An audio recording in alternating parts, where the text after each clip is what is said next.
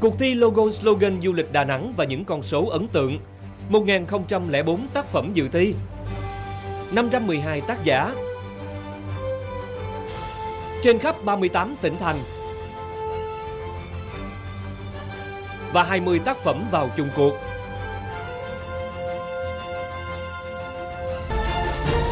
Cầu hóa thành phố ánh sáng Ờ, du khách là cuộc thi cũng đã có những bước thành công để mà chọn ra được cái cái cái cái tác phẩm mà